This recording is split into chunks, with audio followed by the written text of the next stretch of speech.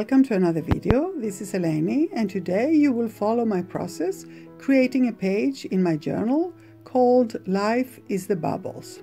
And it is a prompt from the MerMay Challenge with Jane Davenport.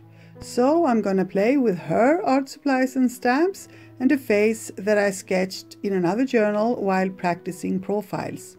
I've printed the face on copy paper and you see me transfer it to my journal and I will also give you a free printable of it so that you can come and play along with me using it with your own stamps and art supplies.